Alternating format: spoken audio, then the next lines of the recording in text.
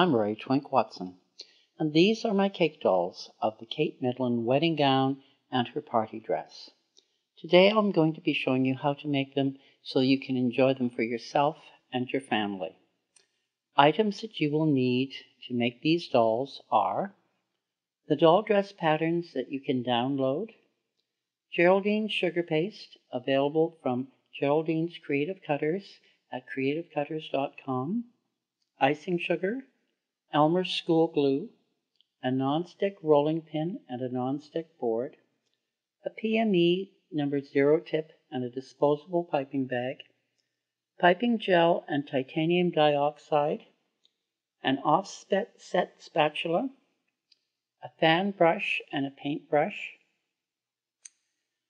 non-toxic fairy dust, a non-toxic disco hologram silver, two plastic round discs roughly the same size as a DVD, 4 inch wide netting for the veil, a number 27 gauge wire, two 11 and a half inch dolls, and my pre-cut pattern stencil, which is optional for those who do not want to pipe the embroidery.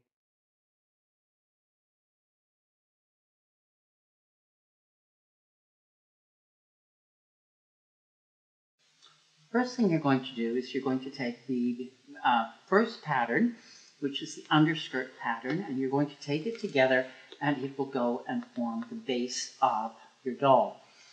Second thing you will do is you will take her hair and you will, I've used here an 18 gauge wire so everyone can see the actual wire. But you will want to get a very fine wire like a number 27 wire uh, just to wrap around the back of her hair because this is the wire that is going to hold her veil in place when we make her veil and her veil comes on. First thing you're going to do is you're going to roll your fondant and I'm using a non-stick rolling pin and a non-stick board.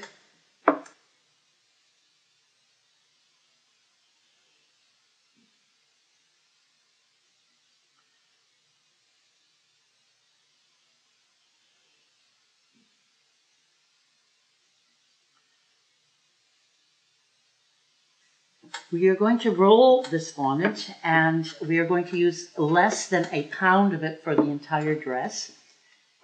And we are going to roll it to less than an eighth of an inch thick so that it is very fine and almost translucent in look, giving you a wonderful, wonderful texture and a wonderful, wonderful impression when you take the pattern and press it into the fondant. We have the pattern in a plastic sheet that is a uh, impressionable sheet that you just roll your rolling pin over the top of the fondant and lift it off and voila you have beautiful impressions made if you don't have get the plastic impression mat, you can then just take the regular sheet um, that is paper, and all you do is pin, take a pin and prick a little holes, and again place that on your fondant and go over the top with your rolling pin, and again it will leave a wonderful impression. So you take and you cut out your first piece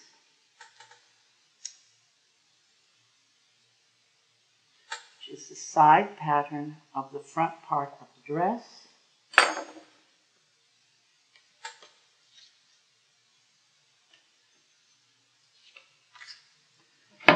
And as you can see, you then can take a finest icing tip that you can find and put it in a disposable plastic bag. And if in the bag, we have piping gel that has white titanium dioxide added to it so that we are, can follow then the lines of the piping of the impression that is left. And this just shows you what some of your embroidery will look like. Okay? If your piping skills are not good, you can just roll the impression the, the impression mat with your rolling pin and you can see that the that the fondant comes through the mat. Then if you just take a little bit of luster dust, what we're using here is fairy dust, you just go across this over the mat.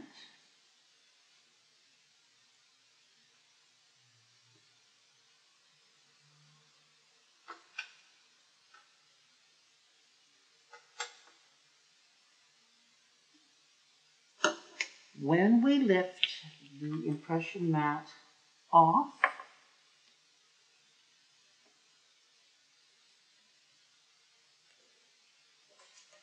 you will see there is wonderful impressions and luster glitter. Okay, our first panel, which is our side panel, which is going to be going on this side of the dress, goes from the center and the side seam of the dress, and it starts exactly in the middle of that section. So you can see it's right here. This is midway between those two, and that's where this section will start. You're going to take your, your dress fabric, you're going to place, this has the embroidery on it. You're going to take your pattern of for your dress and you're going to flip it over onto your pattern. And you're going to take now the underside and you're going to just gently take it and roll the edge over. Just the front edge. Okay. You'll find that if you pick up the pattern with the fabric of sugar paste, it is easier to get it onto your doll without it tearing. You're then just going to place it on the position where you want it and gently turn it over. You'll see that the bottom starts to have a nice flare and ruffles starting to happen from the bottom coming up which is exactly what you want to have happening with your doll. And then you will take and do the same thing on the other side. The embroidery you put on once you have the uh, actual uh, fabric of sugar paste on your doll, and you do your embroidery before you put on your next section. You do it section by section we have just impressions matched the um, fondant. We have now put the front panel dress on and cut it out. We are now lifting it up, flipping it over. What we're doing now is just rolling over the edges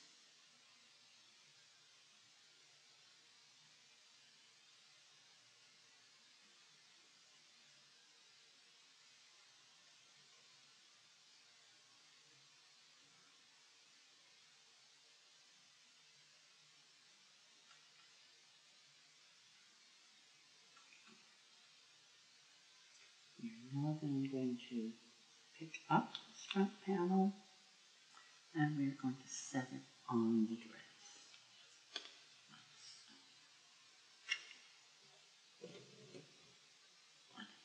up. And this is where your inverted pleating comes in. If you find that your um, sugar paste isn't adhering as well as you would like. Just take a damp um, water water with uh, in, in, a brush, brush your sugar paste, and lay it on your doll, and you pour it here.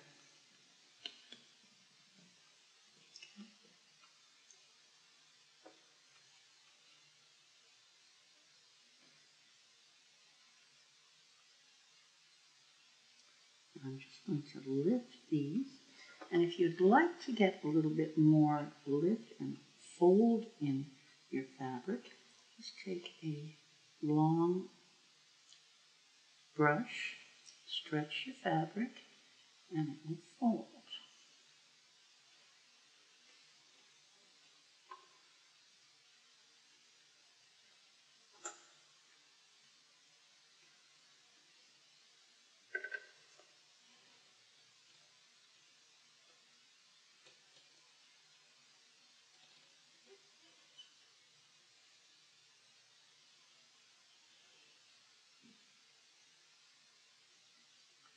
you want your front piece fairly flat.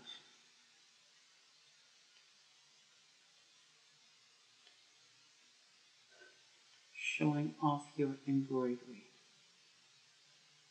You want a little bit of ripple in the bottom just so that it shows off nicely.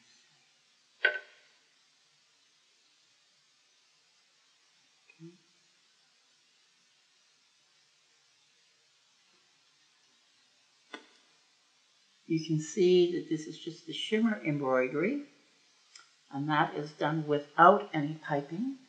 And if I come along now and pipe the embroidery,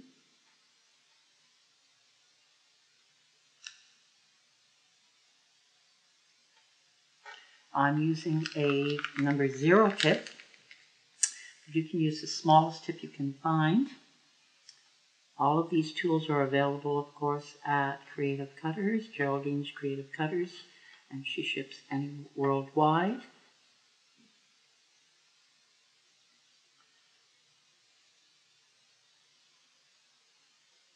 In the United States in Buffalo and Richmond Hill in Canada.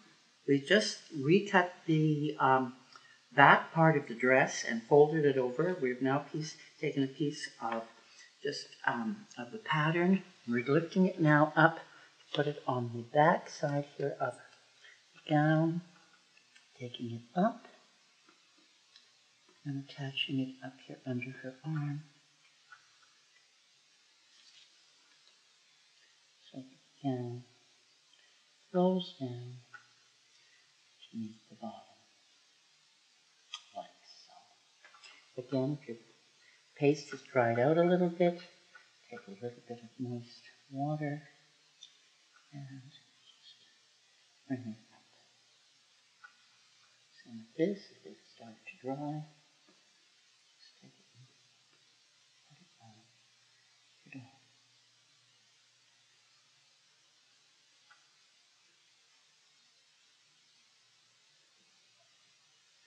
You're going to join the two gentle overlapping, bit of moisture, and two